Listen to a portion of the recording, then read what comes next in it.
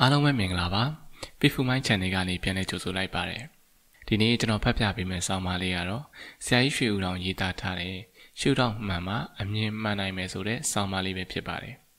ဒီဆောင်းပါးလေးကိုဆရာကြီးရဲ့အတွေးအမြင်နဲ့ရှုထောင့်ဆိုတဲ့စာအုပ်ထဲကနေထုတ်နှုတ်တင်ဆက်ထားတာလည်းဖြစ်ပါတယ်ဒီဆောင်းပါးလေးထဲမှာအတွေးအမြင်အမျိုးမျိုးရှိကြတဲ့အကြောင်းသူ့အမြင်နဲ့သူမှန်ကန်နေကြချောင်းကိုဥပမာရင်းနဲ့တကွာဖော်ပြပေးထားပါတယ်။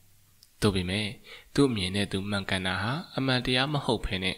မျှတတဲ့အမြင်ရှိဖို့မှန်ကန်တဲ့ရှုထောင့်ကနေကြည့်တတ်ဖို့ပါပြောဆိုဆွေးနွေးထားတာမို့လို့ကျွန်တော်နဲ့အတူတူကြည့်လိုက်ကြရအောင်ပါ။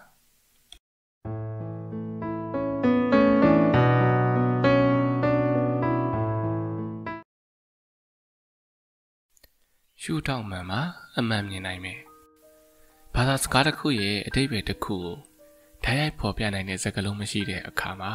တခြားသောဘာသာကနေစကားလုံးတွေကိုယူသုံးရခြင်းဆိုတာထုံးစံပါပဲ။ဒါကြောင့်အင်္ဂလိပ်ဘာသာစကားမှာလက်တင်ဘာသာစကားလုံးအမြောက်အများပါရှိနေတဲ့နည်းတူ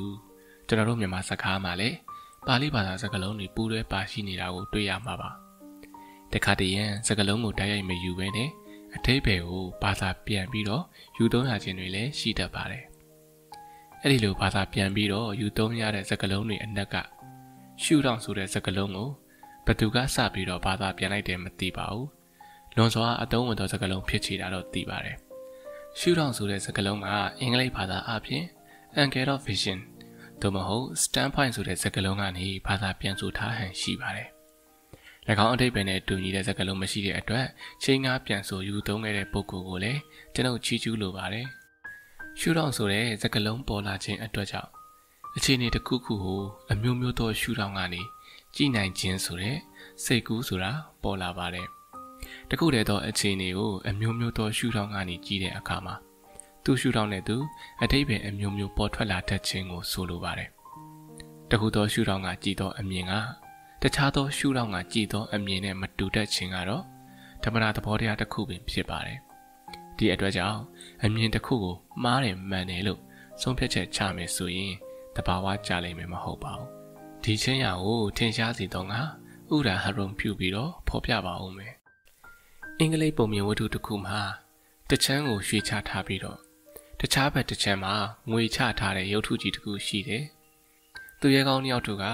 ရုပ်ထုကြီးကိုတချမ်းစီမျှတာမြင်ခဲ့ကြဘူးတာနဲ့တယောက်ကရွှေရုပ်ကြီးဆိုပြီးတော့နောက်တယောက်ကတော့ငွေရုပ်ကြီးဆိုပြီးတော့ညင်းခုန်ကြရမှာတယောက်နဲ့တယောက်တပ်ပုတ်ကြတဲ့အခြေအနေကိုရောက်သွားကြတယ် နောက်ဆုံးမှာတော့မောဟိုက်လာကြပြီးတော့နှစ်ယောက်စလုံးသဘောတူရုပ်ထုကြီးကိုတွားရောက်ကြည့်ရှုကြရမှာတော့သူရှုတော့နဲ့သူမှန်ကန်ကြောင်းတွေ့ရပြီးတော့လက်ဆွဲနှုတ်ဆက်ခဲ့ကြတယ်လို့ဆိုပါတယ်ဒုတိယဥပမာတစ်ခုကတော့တငယ်ချင်းနှစ်ယောက်တို့ဟာပစုံထုတ်ကိုနီတီပြသည်ဆိုပြီးတော့ညှင်းခုန်ကြရကနေထွေးလုံးတပ်ပုတ်ကြပါတယ်အဖိုးဖြစ်သူကခေါ်ပြီးတော့စစ်ဆေးစကားဆိုတယ် တငယ်နှစ်ယောက်တို့ကမိမိတို့ညှင်းခုန်ကြရခြင်းရဲ့အကြောင်းရင်းကိုအဖိုးကြီးကပြောပြတဲ့အခါမှာတော့အဖိုးဖြစ်တဲ့သူကဖြစ်အင်ကိုနားလေခဲ့ရတယ်။ဒီအခါမှာအဖိုးဖြစ်တဲ့သူကပစုံတော့နေသည်လို့ပြောတော့မြေကိုအနီရောင်ရှိသောပစုံတော့ခေါင်အရှင်လက်လက်ဖမ်းပြနိုင်ခဲ့ရင်ငွေငါးချက်ပေးမယ်လို့ပြောပြီးတော့ပြတယ်လို့ပြောမိတဲ့မြေကိုတော့ထမင်းစပွဲဝိုင်းထဲမှာအပြာရောင်ရှိတဲ့ပစုံတော့ကောင်ကိုပြနိုင်ခဲ့ရင်ငွေငါးချက်ပေးမယ်လို့ပြောခဲ့ရဘူးလေ ဒီတငယ်နှစ်ယောက်မှာထမင်းပွဲတွေကပစုံတော့ကိုသာမြင်ပူတဲ့သူကမြင်ပူပြီးတော့အရှင်လက်လက်ကိုသာမြင်ပူတဲ့သူကမြင်ပူခြင်းသာဖြစ်ပါတယ်။အထက်မှာဖော်ပြခဲ့တဲ့ဥပမာတွေကရှုထောင့်ရိုးရိုးမြတာဖြစ်ပြီးတော့အကျိုးခံစား권နဲ့ပတ်သက်တဲ့ရှုထောင့်မျိုးလည်းရှိနေပါသေးတယ်။အကျိုးခံစား권နဲ့ပတ်သက်တဲ့ရှုထောင့်မျိုးကတော့တရဝဟူသမျှမှာမိမိရဲ့အကျိုးခံစား권ရှိတဲ့ရှုထောင့်ကနေတာကြီးတတ်ကြခြင်းကဓမ္မရာတဘာဝပဲဖြစ်ပါတယ်။ ဒီချင်းရာကိုထင်ရှားစေတော့ငါဥပမာဆောင်ပြီးတော့လေဖော်ပြပါဦးမယ်။ရွာတရွာရဲ့အနီးမှာချိုင်ဝမ်သောကွင်းမြင့်ကြီးတစ်ခုရှိပြီးတော့ကွင်းမြင့်ကြီးရဲ့အစုံမှာချောင်းကြီးတစ်ခုရှိတယ်။အဲ့ဒီရွာမှာတောင်သူလယ်သမားတွေကကွင်းမြင့်ကြီးအတိုင်းထားပြီးတော့ကောက်ပဲသေးနဲ့နေစိုက်ပျိုးခြင်းကြတယ်။တန်ငါတဲ့တွေကတော့ချောင်းကြီးတဲ့ရရေကိုကွင်းထဲကိုဖောက်ချပြီးတော့အင်းကြီးဖြစ်အောင်လုပ်ပြီးတော့တန်ငါလုပ်ခြင်းကြတယ်။ဒီကိစ္စကိုငင်းခုန်ကြရကနေတောင်သူလယ်သမားတွေက သူတို့ရဲ့ရွာထဲမှာသူ့အိမ်တောင်200ရှိပြီးတော့တငါအိမ်ပေါင်း100မျှသာရှိတော့ကြောင်းလူများစုရဲ့အကျိုးကိုထောက်ထားပြီးတော့ကွကွင်းမြင့်ကြီးတိုင်းထားပြီးတော့လေယာစိုက်ပျိုးခြင်းလုပ်ကင်တင်တယ်လို့အကြောင်းပြပြောဆိုကြတယ်။တန်ဃာတွေတွေကလည်းမိမိတို့ရဲ့အရေးအတွက်ကတောင်သူအရေးအတွက်ရဲ့တဝက်မြလာရှိတာမှန်ပေမဲ့လေလုတ်ပြီးတော့ငွေတစ်သောင်းရနိုင်ရင်တန်ဃာလှုပ်ချင်းနဲ့ငွေတစ်သောင်းရမှာဖြစ်တဲ့အကြောင်းဒါကြောင့်တရွာလုံးရဲ့အကျိုးကိုကြည်ချင်းအပြင် ဝင်ငွေနှစ်ဆရနိုင်မဲ့တန်ဃာအလုတ်ကိုလုတ်ကင်မှုရေဖောက်ပြီးတော့အင်ကြီးလုံးမယ်လို့အကြောင်းပြပြောဆိုကြပြန်တယ်။ရွာသူရွာသားအနေများကိုကြည်လိုက်သလိုဆုံးဖြတ်ရန်ခက်ကောင်းခက်ပေးလိမ့်မယ်။အကယ်၍တန်ဃာလုတ်ခြင်းအပြင်ရရှိသောဝင်ငွေကိုတရွာလုံးဝင်းက30မိဆိုရင်ဒီပြဿနာကအခက်အခဲရှိမည်မဟုတ်။သို့တော့ထိုကဲ့သို့ပြုလုပ်ရမှာလူတော်ဝါတို့ကဘယ်တော့မှစိတ်ကူးထည့်ရင်မည်မဟုတ်တဲ့အတွက်အခက်အခဲတွေ့ကြခြင်းဖြစ်ပြီးတော့ လူလောကမှာဖြစ်ပေါ်လျက်ရှိတဲ့စီးပွားရေးပြဿနာဆိုတာကလည်းဒီတိုင်းပါပဲခက်စင်စင်ဖြစ်ပြီးတော့ဒီနည်းအတိုင်းပဲအကြက်တဲတွေ့နေကြခြင်းလည်းဖြစ်ပါတယ်နောက်တစ်ချက်ကတော့ကိစ္စတစ်ခုကိုဆုံးဖြတ်ရန်လိုတဲ့အခါမှာတရားမျှတခြင်းရှိမရှိတဘာဝကြမကြစတာတွေကိုစင်ကျင်သုံးသက်ခြင်းမပြုဘဲနဲ့ဤတို့ဆုံးဖြတ်ပါကမိမိနိုင်အကျိုးရှိလိမ့်မည်ထို့တို့ဆုံးဖြတ်ပါကမိမိနိုင်နှစ်နာလိမ့်မည် စသည်အဖြစ်မြင်ရတဲ့ရှုထောင့်တွေကနေကြည့်ရှုဆုံးဖြတ်ကြတဲ့အတွက်ကြောင့်မို့လို့လူတို့ပြုလုပ်လေသမျှသောစီမံကိန်းတွေမှာလည်းရည်ရွယ်ရာကိုမရောက်ဘဲနဲ့အလဲလွဲအချော်ချော်ဖြစ်တတ်ကြရပါတယ်။ဥပမာဆိုရမယ်ဆိုရင်အမေရိကန်သမ္မတဟာမစ္စတာဝီလစ်ဆန်တီထွင်ခဲ့တဲ့ The League of Nations လို့ခေါ်တဲ့အဖွဲ့ကြီးရဲ့ရည်ရွယ်ချက်ကစင်စစ်အပြင်မြင့်မြတ်ကောင်းမွန်လာတယ်။တို့ရတွင်အီတလီဟာအဗရီစီးနီးယားပြည်ကိုစစ်တိုက်တဲ့အခါမှာအဖွဲ့ကြီးရဲ့စီမံအတိုင်းအီတလီအပေါ်မှာ တိကျစွာအရေးမယူဘဲနဲ့တော်ကြီးရော်ကြီးလုပ်ခဲ့တဲ့အတွက်ကြောင့်ပြက်ပြက်ပြက်ပြက်ဖြစ်ပြီးတော့အဲ့ဒီအဖွဲ့ကြီးကလည်းပျက်စီးခြင်းကိုတိုင်ခဲ့ရပူပါတယ်။နောက်တစ်ခုဆက်လက်တင်ပြမှာကတော့ရှုထောင့်နေရဲ့အရေးကြီးပုံမှာကဘာမှာအနက်နည်းဆုံးဆိုပြီးတော့နာမည်ကြီးလျက်ရှိတဲ့အဘိဓမ္မာဆရာကြီးတွေနဲ့ပတ်သက်ထားတဲ့ရှုထောင့်တွေလည်းရှိပါသေးတယ်။အနောက်တိုင်းအဘိဓမ္မာဆရာကြီးတွေကအကျမ်းအဖြစ်ပိုင်းခြားလိုက်မယ်ဆိုရင်ရုပ်ဝါဒသမားတွေနဲ့ တခုတည်းသောဝိညာဉ်တော်တပါးတွေဆိုပြီးတော့ရှိကြပါတယ်။တခုနဲ့တခုကက်စင်စင်မျှတာတူပြီးတော့လုံးဝတူတယ်လို့မဆိုနိုင်တဲ့အတွက်တကိုင်းစီမှဲ့ခေါ်ထားတဲ့အဘိဓမ္မာခိုင်းတွေဆိုရင်340မျှပင်ရှိတယ်လို့ဖတ်ရပူပါတယ်။ကျွန်ုပ်ကလည်းဘ ഹു သုတအလုံးက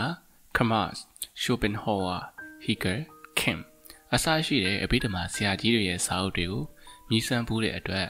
၎င်းဆရာကြီးတွေအသီးသီးစီရဲ့သူရှုထောင့်နဲ့သူအမြင်ဖြောင်ဖြူးလျက်ရှိပြီးတော့ ရေပတ်မဝင်အောင်စိတ်ဆက်ညှက်ညောကြတာကိုတွေ့ရပူပါတယ်။ဒီဆရာကြီးတွေဟာစဉ်းစားညံအရာမှာ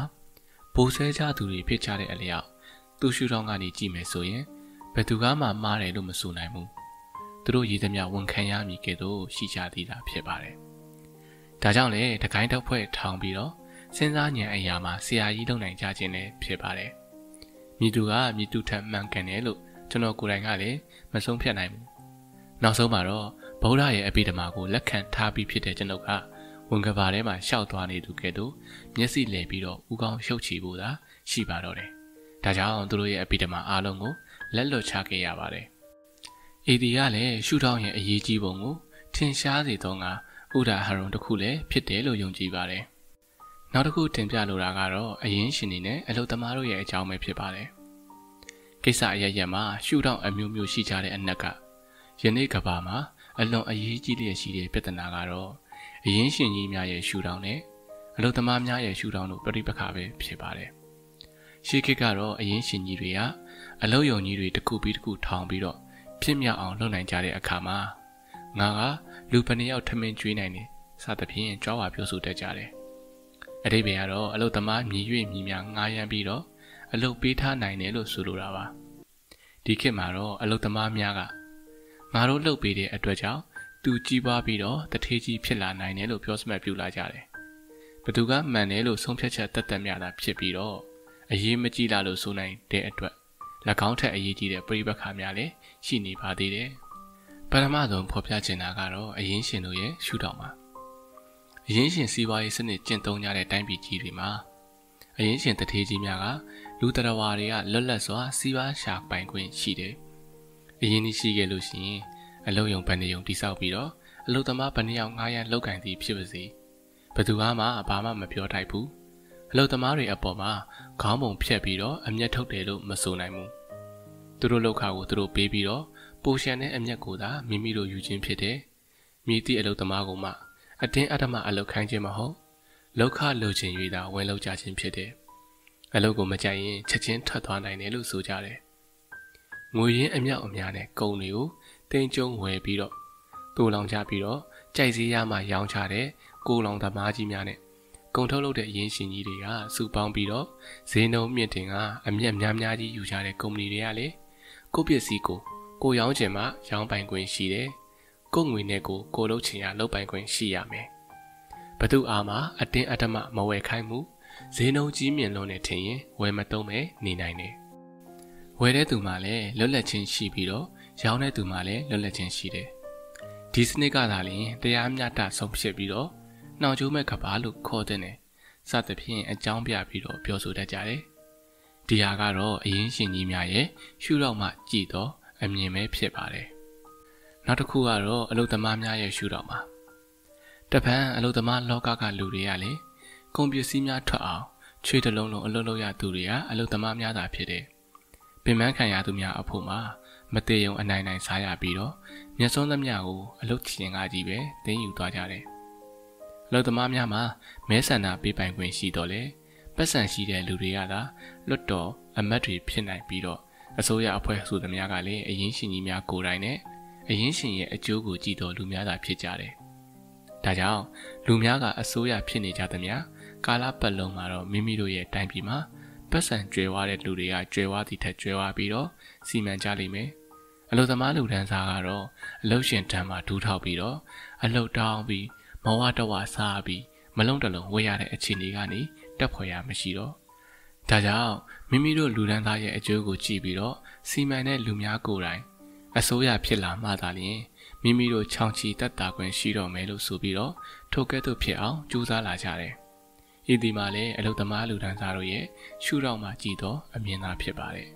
။အရင်ရှင်ကြီးများရဲ့ရှုထောင့်မှာမြင်တော့အမြင်နဲ့အလုသမားလူဒန်းသားတို့ရဲ့ရှုထောင့်ကမြင်တော့အမြင်မှာပြိပခါတွေဖြစ်ကြတာရှိတဲ့အတိုင်းကဘာပေါ်မှာရှိတဲ့အတိုင်းတိုင်းအပီပီမှာလည်းအရင်ရှင်နဲ့အလုသမားတို့ပြိပခါကလည်းဖြစ်ပေါ်လျက်ရှိပါတယ်။အလုရှင်ကြီးများထံကလောက်ခပို့ပြီးတောင်းတဲ့ကိစ္စများကလည်းတိုင်းပြည်တိုင်းမှာရှိနေပြီးတော့အရင်ရှင်ကြီးများကိုဖြုတ်ချပြီးတော့ ပြည်သူပိုင်းဖြစ်အောင်စ조사နေကြတဲ့ကိစ္စတွေကလည်းနေရာတကာမှာအနှံ့အပြားရှိနေပါတယ်။အခက်အခဲကြီးတည်းဖြစ်နေတာကတော့အထက်ပါအမြင်နဲ့ရမှာသူရှုတော့နဲ့သူမှန်တင်အောင်ရှိနေပြီးတော့သူမှန်တယ်ငါမှန်တယ်လို့ဆိုပြီးတော့အကြီးအကျယ်ညှင်းခုန်နေကြရခြင်းပဲဖြစ်ပါတယ်။ရှုထောင့်အမျိုးမျိုးနဲ့အမြင်မျိုးမျိုးရှိကြရမှာသူရှုထောင့်နဲ့သူမှန်စွာရှိနေခြင်းကိုဖော်ပြပြီးဖြစ်လေတော့ဗုဒ္ဓရဲ့တရားတော်မှာလည်းသူရှုထောင့်နဲ့သူအမှန်ရှိနေတာကိုလည်းဖော်ပြရပေအောင်မယ်။ ဗုဒ္ဓဟောတော်မူခဲ့တဲ့တရားတော်တွေမှာသမုဒ္ဒိတစ္ဆာနဲ့ပရမတ္ထတစ္ဆာဆိုပြီးတော့တစ္ဆာနှမျိုးရှိပါတယ်။တုတ်တန်နေရဆိုရမယ်ဆိုရင်ရိုသေထိုက်တော်သူရှိတယ်မိဘဆွေမျိုးရှိတယ်။သူငါရှိတယ်။သူ့အသက်ကိုမတက်ကောင်းစသဖြင့်ဟောတော်မူပါတယ်။ဤသည်တို့ကတမှုတိတစ္ဆာနယ်ဖြစ်ပြီးတော့သူရှုထောင့်ကနေသူမှန်ကန်တဲ့တစ္ဆာတရားကြီးဖြစ်ပါတယ်။တပံအဘိဓမ္မာနီးအရာဆိုတော့ပုဂ္ဂိုလ်တတော်ဟာငါသူတစ်ပါး ယောက်ျားမိန်းမဆိုတာမရှိဘူးခန္ဓာ၅ပါးသာရှိတယ်လို့ဟောတော်မူတယ်။သူခန္ဓာငါခန္ဓာဟူပြီးတော့ပိုင်ခြားခြင်းမရှိဘူး။ဤသည်ကပရမတ္တသစ္စာနဲ့ဖြစ်ပြီးတော့သူ့ရှုထောင့်ကနေသူမှန်ကန်နေတဲ့သစ္စာတရားကြီးလည်းဖြစ်ပြန်တယ်။ပုရုဇဉ်တို့မှာပရမတ္ထတဘာဝကိုမြင်စွမ်းနိုင်သည်မဟုတ်တဲ့အတွက်သမုဒိသစ္စာဒီဟုသောရှုထောင့်အမြင်ဖြစ်လာရင်ကြင်ကြံပြုမှုကြရပေလိမ့်မယ်။ပရမတ္ထသစ္စာဒီဟုသောရှုထောင့်ကအမြင်မှာအရိယာတို့တွေ့တာဖြစ်ပါတယ်။ အချို့လူများကပရမတ္ထတဘာဝကိုအရိယာပုဂ္ဂိုလ်တရားမရှိဆိုသောတကားကိုပဲယူပြီးတော့သူမရှိငါမရှိဆိုတာတချင်ရတတ်လှုပ်ချင်ရလှုပ်ကြတာအထိပယံပရာဖြစ်လာကြတာကိုလည်းကြုံရမှုပါတယ်။ပုဂ္ဂိုလ်တရားဝါရှိသောရှုထောင့်ကအမြင်ဆိုပြီးတော့နှစ်မျိုးစလုံးရဲ့မှန်ကန်ခြင်းကို နားလည်ပါမှသာယထာဘူတကြမိဖြစ်ပါတယ်။အထက်ပါအကြောင်းအရာများကိုဖတ်ရှုရခြင်းအပြင်သူ့ရှုထောင့်နဲ့သူ့အမြင်ဖြောင်ဖြူးမှန်ကန်လျက်ရှိကြောင်းထင်ရှားလာပါပြီတဲ့။ အမြင်မှန်ဆိုတဲ့အတုံးလုံးကယခုတလုံးမှာခစ်စားလျက်ရှိပေမဲ့စင်စစ်အားဖြင့်ရှုထောင့်ခြင်းမတူရင်အမြင်ချင်းလည်းမတူနိုင်ပါဘူးအမြင်မတူတဲ့အတွက်ကြောင့်မို့လို့တဦးကနေတဦးကိုအမြင်မှားတယ်လို့ဆိုလိုက်တယ်မထင်ပါဘူးအရင်ရှင်တထေးတီးတယောက်ကအလုသမားချောင်ချီမဲ့ဆိုရှယ်လစ်စနစ်ကိုမကြိုက်တဲ့အတွက်ကြောင့်အမြင်မှားတယ်လို့အပြစ်ပြောခဲ့ရင်တဘာဝကြလိမ့်မယ်မထင်ပါဘူးဘဘာကြောင့်လဲဆိုတော့သူ့ရဲ့ရှုထောင့်ကကြည့်တဲ့အခါမှာသူ့အဖို့ စီးပွားတက်နိုင်ရန်လမ်းပိတ်သွားတယ်လို့မြင်တဲ့အတွက်ကြောင့်ဖြစ်ပါတယ်။လူရဲ့တဘာဝမှာရှုထောင့်တစ်ခုကိုပဲယူပြီးတော့ကြည့်လိုက်တဲ့ဆိုကြတဲ့ကမိမိအဖို့အကျိုးအများဆုံးရှိသေးဖို့သဘောပိုက်ပြီးဖြစ်သွားပါတော့မယ်။ကိုယ့်အတွက်ကြည့်ခြင်းကိုလည်းအမြင်မှားတယ်လို့မဆိုသားဖြစ်ဘူး။အရေးကြီးလိုအပ်တာကကိုရှုထောင့်ကကိုယ့်အမြင်သာလျင်အမှန်ဆုံးဖြစ်တယ်လို့သဘောမထားဘဲနဲ့တခြားသောရှုထောင့်များလည်းရှိသေးတဲ့အတွက်အမြင်အမျိုးမျိုးရှိခြင်းကို နားလည်သိကြပြီတယ်။လူတဘာဝနဲ့လောကအကြောင်းကိုနားလည်တဲ့သူကမိမိရဲ့ရှုထောင့်ကပဲမကြည့်ပဲနဲ့တခြားသောရှုထောင့်တွေကနေအမြင်တွေကိုလည်းမြင်အောင်ကြည့်နိုင်ခြင်းအပြင်ဖြစ်နိုင်ပါတယ်။ဒါကြောင့်ကိုချင်းစာတရားကတ်တော်သူကကျွယ်ဝတော်သူဂုံကြီးတော်သူပါဝါကြီးတော်သူယာတို့ကြီးတော်သူစတာတွေထက်မြင့်မြတ်တယ်လို့ကျွန်ုပ်ကဆိုချင်ပါတယ်။ သူ့ရှုထောင့်နဲ့သူ့အမြင်မှန်ကန်တယ်လို့ဆိုတဲ့အတွက်အမြင်မှားတယ်ဆိုတဲ့စကားလုံးမသုံးတိုက်ဘူးဆိုရင်မိတို့သုံးလုံးထိုက်ပါတနည်းလို့စောရကတက်ပွဲရှိပါတယ်။ကျွန်ုပ်ရဲ့သဘောကတော့အမြင်မှန်မှုထက်ရှုထောင့်မှန်မှုကသာပိုပြီးတော့အရေးကြီးပါတယ်။ဒီအတွက်ရှုထောင့်မှန်တဲ့ရှုထောင့်မှားကိုပိုင်းခြားဖော်ပြရန်လိုအပ်ပါတယ်။တရဝဟုသမျှကအတ္တဆွဲရှိကြမည်ဖြစ်တဲ့အတွက်ငါကောင်းဖို့ဒီဟုတဲ့ရှုထောင့်ကနေကြည်ကြည့်တတ်ကြပြီးတဲ့အတွက်၎ င်းကိုရှုထောင့်မားလို့ဆိုလိုပါတယ်ရှုထောင့်မှန်ဆိုတာကတော့ငါကောင်းဖို့ကြီးမရည်မှန်းမဲနဲ့ရှုထောင့်ကိုဆိုလိုပြရာဗုဒ္ဓဟောတော်မူတဲ့တမ္မာဒိဋ္ဌိဆိုတဲ့အတိုင်းဤသို့သောရှုထောင့်မှန်ကိုပင်ရည်ရွယ်တယ်လို့ကျွန်ုပ်ကယူဆပါတယ်အမြင်မှန်မှုထက်ရှုထောင့်မှန်မှုကပိုပြီးတော့အရေးကြီးတယ်လို့ကျွန်ုပ်ကနားလဲတယ်သို့တော့အရိယာဖြစ်ပါမှရှုထောင့်မှန်ကိုတွေ့နိုင်တာဖြစ်တဲ့အတွက်ခဲရင်လာတယ်လို့လည်းဆိုချင်ပါတယ်။ ဤများလောက်ခဲရင်လာတဲ့အခြေအနေကိုလူတိုင်းတက်လန့်ရန်ခက်ခဲပေမဲ့ရုပ်စွာအဆုံးအဖြစ်ကိုရှုထောင့်ကနေအမြင်တစ်ခုတည်းသာလျက်မှန်ကန်တယ်လို့မယူဆဘဲနဲ့တခြားလူတွေရဲ့ရှုထောင့်နဲ့သူတို့ရဲ့အမြင်တွေကိုလည်းဆင်ခြင်သုံးသပ်ဖို့ကြိုးစားကြပါမူကားရွှေရုပ်ထုငွေရုပ်ထုဆိုပြီးတော့ငင်းခုန်ကြတဲ့တပ်ပုတ်ကြတဲ့သူရဲကောင်းနှစ်ယောက်ကဲ့သို့မဖြစ်စေပဲနဲ့ယနေ့ကဘာကြီးဟာယခုထက်ပင်ငင်းချမ်းခြင်းနဲ့ပြည့်စုံပေးလိမ့်မယ်လို့ယုံကြည်ပါတော့တယ်။